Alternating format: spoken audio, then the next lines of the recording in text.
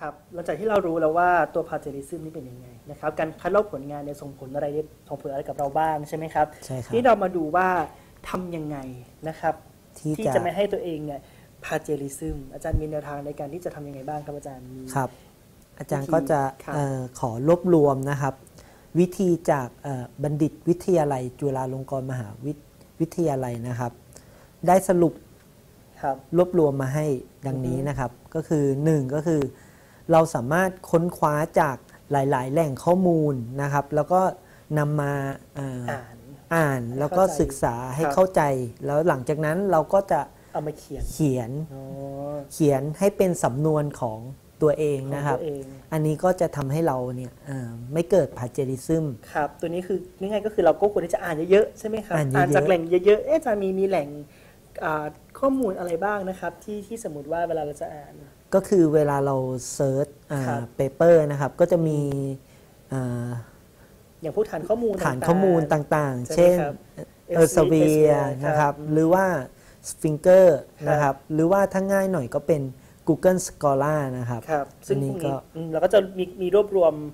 ต้องบอกว่ารวบรวมบทความทางวิชาการใช่บทความวิจัยต่างๆ ซึ่งเราสามารถที่จะเข้าไปค้นคว้าหาความรู้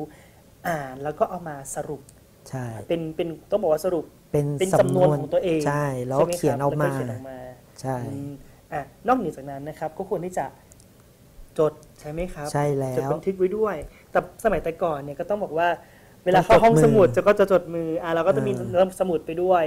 นะครับ เห็นเห็นเห็นสมัยก่อนเนี่ยอ่าต้องแบบสมัยรุ่นรุ่นคุณแม่ ก็จะมีอะพกสมุด ไปจดจดจดจดจดนะครับ แล้วก็มีการอ้างอิงด้วยว่า เอ้ย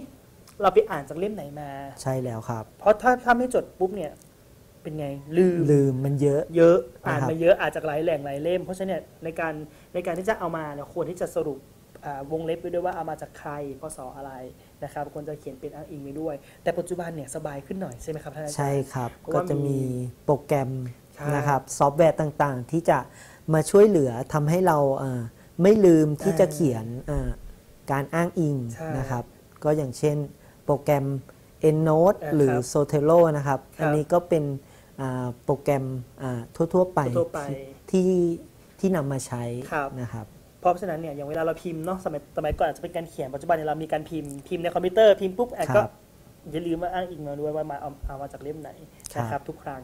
นี่ก็จะเป็นแนวทางหนึ่งที่ช่วยในการที่จะให้เราไม่ลืมในการที่จะอ้างอิงนะครับอะต่อไปครับอาจารย์ ต่อไปก็คือเป็นการ เขียนผลงานด้วยภาษาของตนเองนะครับ โดยที่ไม่นำคำหรือผลงานของคนอื่นเนี่ยมาเขียน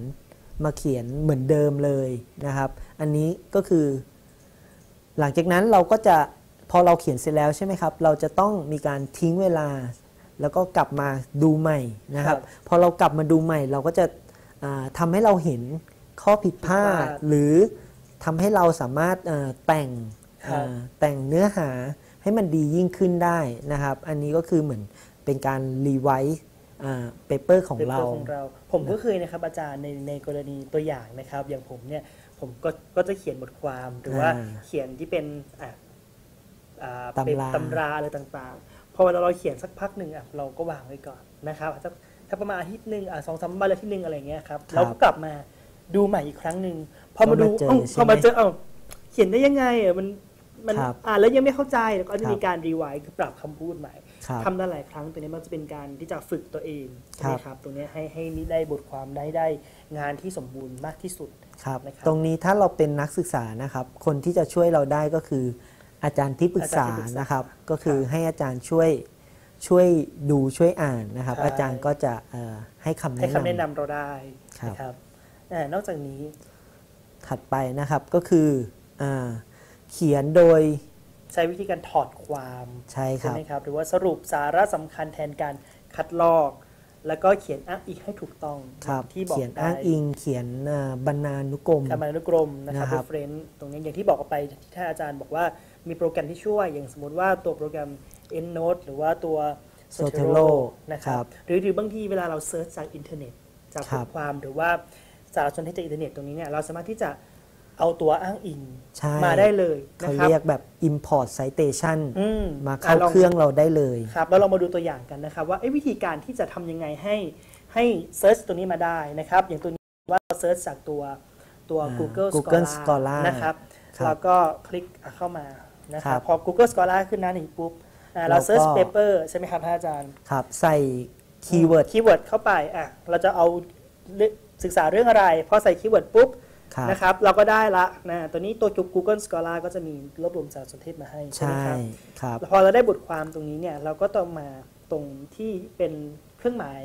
อัญญประอักาศญประกาศคล้ายๆอัญญประกาศนี่แหละครับ คลิกอ่าเลยครับ คลิกเข้ามาปุ๊บปึ๊ตบรงนี้เนี่ยนะครับเห็นไหมครับ ก็จะมีลักษณะของ reference เรื่องบรรณา Reference นุกรมไว้ให้ครับเราก็สามารถเลือกรูปแบบใช่ไหมครับใช่บรรณานุกรมก็จะมีอย่างมีหลายรูปแบหบลายรูปแบบมาตัวนี้ก็จะถ้าเราสมมติเราจะเอาเป็นแบบ APA style นะครัครับบ American Standard ตัวนี้ปุ๊บเนี่ย ก็คลิกเข้าไปก็ copy ไปใช้ก็ไปวางได้เลย หรือว่าเราจะอ่าคลิกที่ตัวชื่อโปรแกรชื่อมโปรแกรม support EndNote มันก็จะอ่าดาวน์โหลด ดาวน์โหลดดาวน์ไฟโหลดล์ไฟอันล์นี้ตัวเนี้ยมาใช้ครับต่อไปได้อันนี้เป็นความสะดวกสบายของเทคโนโลยีสมัยใหม่ตอนนี้ ถือถือว่าอำนวยความช่วยสะดวกให้มากครับแต่ที่เราจะมานั่งเขียนตัว reference แบบอืมบางทีก็มีหลุดมีผิดมีพลาดบ้างนะครับครับแต่ตัวนี้คือช่วยช่ช่ววยยช่วยได้มากถูเลย อาจจะ ถูกต้องครับที่สุดแล้วใช่ไหมครับตอนนี้ครับ อันนี้ก็จะเป็นตัวอย่างนะครับไอ้สุดท้ายในส่วนของในส่วนของทำอย่างไรนะที่จะให้ไม่ให้พาเจพาลิเจซึลิมซึมนะนะคครัรับบอันสุดท้ายก็คือ ถ้าหากว่าจำเป็นจะต้องนำข้อความมาครับอาจารย์ทำยังไงดีล่ะ คือเราสามารถใส่เครื่องหมายอัญญประกาศครับค่อมระหว่างเอ่อข้อข้อความความหรือประโยคนะครับครับที่คัดที่เราคัดลอกมาเนี่ยก็จะช่วยให้เราอ่า สามารถนำผลงานอันนั้นนะมาใช้ได้มาใช้ได้ แต่ว่าเราก็จะต้องมีการอ้างอิง แล้วใช่ก็ครับไม่นำเอ่อข้อความหรือประโยคที่ยาวมากๆเนี่ยมาใช้ไม่ใช่แบบเอามาทั้งหน้ามีแบบอ่าอาจจะประกาศตั้งแต่บรรทัดแรกจนถึงบรรทัดสุดท้ายเต็มหน้ากระดาษนี้ก็ถือว่าเยอะเกินไปคใช่ไหรัมบครับท่านอาจารย์หรือว่าจะแบบนำมาจากหลายผลงานหลายผลงานแล้วก็ใส่อัญญประกาศอ่าอัญญประกาศหหมดลายๆอัน อันนี้ก็ไม่ควรก็ไม่นะครับ มันเหมือนกับไม่ได้เขียนเองเนาะเหมือนใช่กับเอามาวางแปะแปะแปะเฉยๆ ครับตัวนี้ก็จะเป็นลักษณะของการทำอย่างไรถึงจะไม่ให้เกิดการพาเจลิซึมตัวนี้ก็จะเป็นการที่จะต้องบอกว่าเซฟตัวเองด้วยใช่ไหมครับ ที่จะไม่ให้เกิดข้อผิดพลาดอะไรต่างๆนะครับ